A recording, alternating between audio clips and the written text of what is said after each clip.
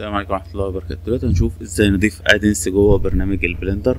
برنامج ال Blender من البرامج القوية جدا اللي تقدر تقارنها بكل سهولة ببرنامج زي 3D Max أو برنامج مثلا سينما 4 دي أو مايا أو كده. وهو في أدوات كتيرة ممكن تفعلها بحيث إن تدي قوة للبرنامج حسب التخصص أو حسب الاهتمام بتاعتك. طيب أنا عايز أعمل select على العناصر مثلا ديت وأبدأ ألغيها. فممكن تدوس عليها وتدوس shift بحيث إن أنت تعمل select عليهم كلهم. أو ممكن تختارهم من هنا. تمام؟ وبعد كده تيجي هنا وتقول له delete بالشكل دوت.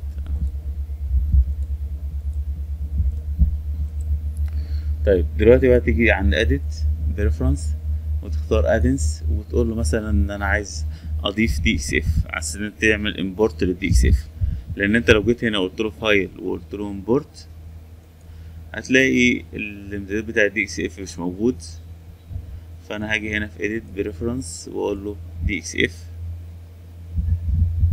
فلاقي عندي import and export AutoCAD DXF format وهكذا ممكن تفعله. تمام؟ مجرد إن أنت فعلته تيجي هنا file وتقول له import. هتلاقي ظهر لك AutoCAD DXF طيب تبدأ بقى تختار الملف اللي فيه DXF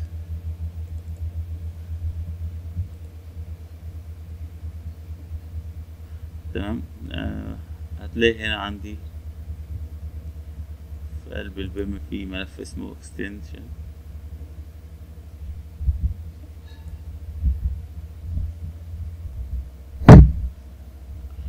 هاجي هنا ألاقي مثلا إن أنا عندي هنا في ملف أهوت DXF تمام؟ هقول له import. بحيث إن هو يدخل لي ملف DXF دوت جوه المشروع وأبدأ أتعامل معاه وابدأ أرسم عليه وكده. لاحظ إن هنا في ال lighting لو أنت عايز تعمل select على ال lighting تقدر تعمل select وتقدر تعمل لها move زي ما أنت عايز بالشكل دوت. آه، طبعا هتفرق معانا في موضوع ال render طبعا في lighting تاني أهوت. تقدر تغير المكان بتاعه بالشكل دوت. وتبدأ بقى ترسم أي حاجة أنت عايزها. ممكن تقول له أنا عايز أضيف مثلا آه، شكل plan مثلا على اللوحة أو cube وال cube دي تقدر تعدل فيها. تمام؟ تقدر تقول له إن أنا عايز أعمل لها مثلا scale بحيث إن أنت تصغرها بالشكل دوت كأنك بقى تبدأ ترسم حوايط بالشكل دوت. بحيث إن أنت تقدر ترسم المبنى بتاعك زي ما أنت عايز.